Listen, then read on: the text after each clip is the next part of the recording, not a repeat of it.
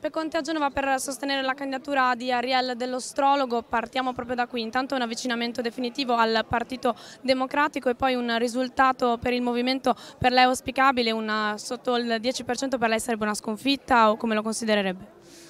Adesso mi va di fare previsioni, di fare valutazioni, l'importante è lavorare, l'importante è presentare questo progetto politico, l'importante è e spiegare bene ai cittadini quelle che sono le linee della nostra azione politica, i nostri principi, i nostri obiettivi, i nostri valori identitari e poi valuteremo i risultati. Lei si ritiene padre del modello Genova e poi a livello di opere, grandi opere, ci potrebbe essere un modo per facilitare la costruzione più velocemente di queste opere? È ovvio che il modello Genova l'abbiamo delineato, costruito a Palazzo Chigi con un mio decreto con l'allora ministro Toninelli, quindi io col Movimento 5 Stelle. E questo modello prevede che ci, si debbano fare le infrastrutture e quindi si debba dire sì, tanti sì, per le infrastrutture che servono. Come in questo caso occorreva rimarginare una ferita che si era aperta nel cuore di Genova e bisognava farlo in fretta per consentire a questa città di rinascere, di ripartire al più presto e per dare un segnale al mondo intero. E per questo ci siamo messi, abbiamo elaborato questo decreto, questo percorso normativo con presidi di legalità ma con forte semplificazione e per questo abbiamo messo a disposizione di Genova e erogato importanti finanziamenti.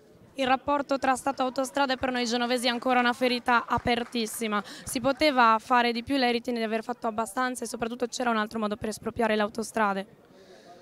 Guardi, su questo è un capitolo che ci ha impegnato strenuamente a lungo e come sapete sia nel Conte 1 che nel Conte 2.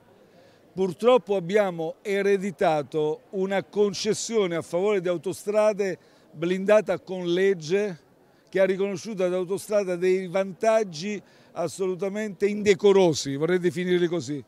Pensate, e lo ricordo perché oggi semmai si dimentica tutto, che se Autostrade ci fosse stato un recesso da parte dello Stato, Autostrade per qualsiasi ragione, anche per inadempimento di Autostrade, ha diritto a un eh, risarcimento in termini di decine e decine di miliardi di euro. Abbiamo cercato di lottare contro dei privati agguerritissimi sostenuti anche da forze politiche, lo vorrei ricordare.